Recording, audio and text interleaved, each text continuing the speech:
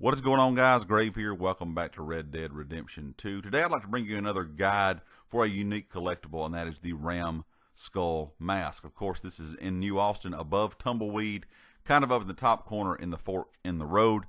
Now, you will have to have completed the story to be able to access this area, but once you can access it, kind of go back to the back edge of the farm here, and there is a Ram Skull Mask hanging on one of these posts like I said, th this is a very, very cool, unique collectible. One of my favorite masks in game.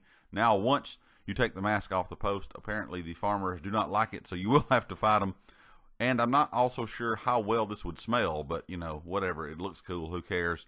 But another thing you can do while you're here, guys, is look for a perfect goat hide. You do you do have to have a perfect goat hide if you are into crafting clothes with the uh, trapper. You will need one, and you can find them here, so you can kind of do two things at once. But anyway, guys, I hope you enjoyed it. Of course, if you like the video, hit the like. If you have not subscribed yet, please do so, and I'll catch you next time.